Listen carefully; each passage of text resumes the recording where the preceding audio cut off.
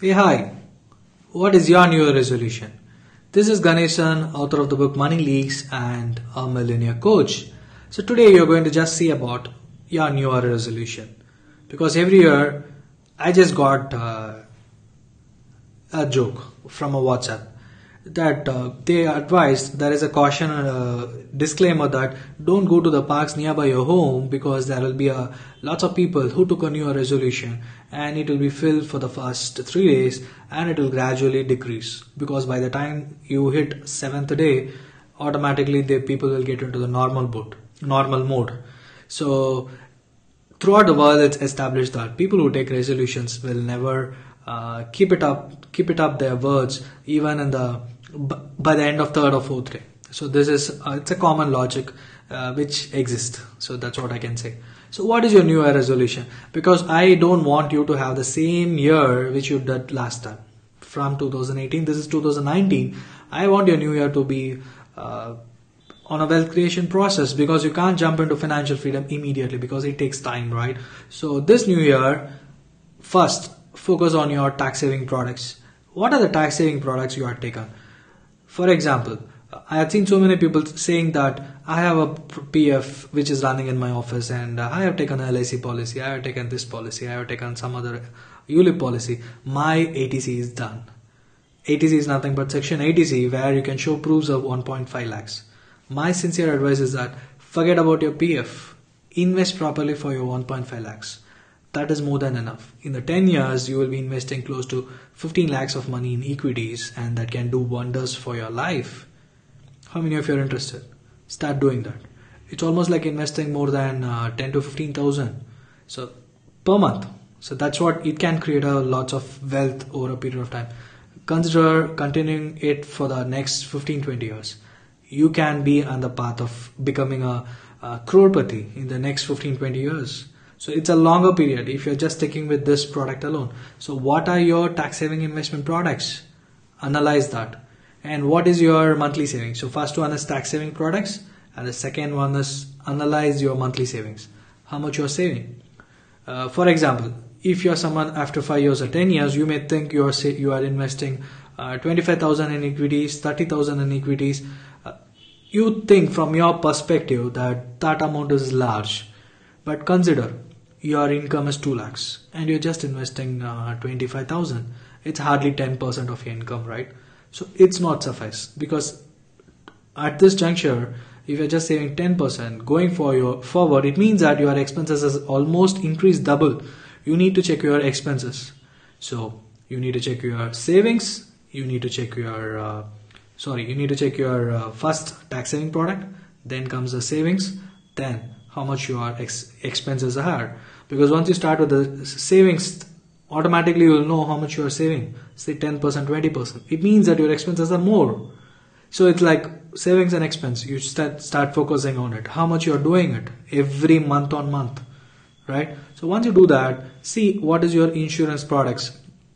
Is it really making wealth? Did i say wealth?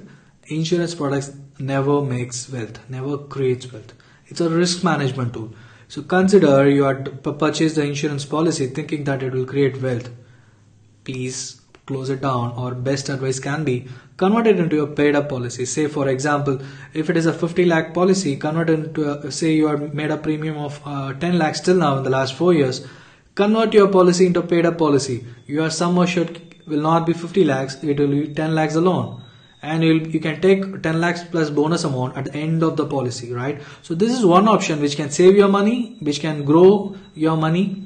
But and for the next 15 years you can invest in a product which can get generate better returns. So this is one of the best options you can do. So this is one thing we can do in your life. So till now this this you have seen uh, and what are your loans you are having in your life? Try to minimize that. If you're not having loans very well. Good done. Good job. And finally experiential living so what? Because this makes you to create wealth or uh, uh, give it to people who can, uh, who who is not having any money.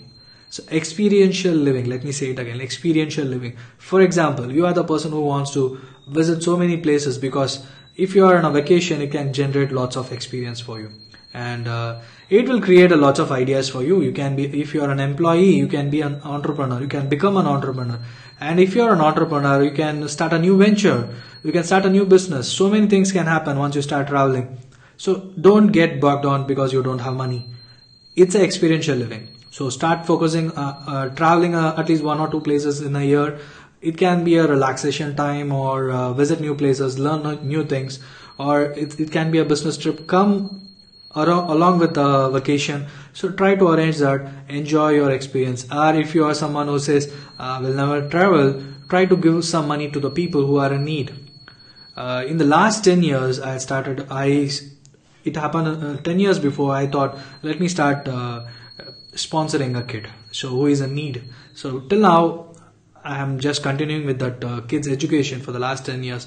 She had almost reached uh, 17 or 18 years of age. Now she's going to complete the higher education. That gives me an immense pleasure. So once you start uh, giving education to someone, you are you are responsible for that. That gives you bigger experiences. Just experience that. And if you want to uh, sponsor a kid, just get into the Google, try to check with World Vision or someone, and uh, you can travel you can do whatever you want. So don't get stopped by money. And if you have money just give it to these kind of activities. So this gives you a lot of experience in life right? So in this new year resolutions just keep it up. Don't think it is a resolution. Start focusing on uh, what are the tax saving products you have till now? What is the savings you've done till now? What are the expenses you're doing? Once you start focusing on savings automatically expenses will come. So you know. So now you are clear with your for this for this new year right? For 2019 what what is what are where are you going to invest? And what are what have you done till now in your life? And then focus on the right investment products and then the insurances and finally experiential living. So this gives you a uh, either you, you, you need to create wealth or you can also focus on uh, giving money to someone. Once you start giving money it can also come back to you. So this is one thing which everybody believes. So are you ready? Don't think it's a resolution i need to keep it up. Just focus on. Do one thing on a day. One percent better. One day one person do something. Start now focus on your tax saving product. Then comes the next day this one. Start writing it down right now in your notebook. Take your notepad and start doing it once you create a process, let me know if I can help you with anything with respect to your personal finance. I'll be there to support you. Thanks for watching. Please share this video with your friends who says, who complains that I'm not able to keep up my new resolution. I'm not able to create wealth in my life. Whatever it is, if they are complaining with respect to money, just ask them to subscribe to my video or as well as ask, ask them to get into my uh, get in, put, put them in touch with me. Thank you for watching till now. Thank you.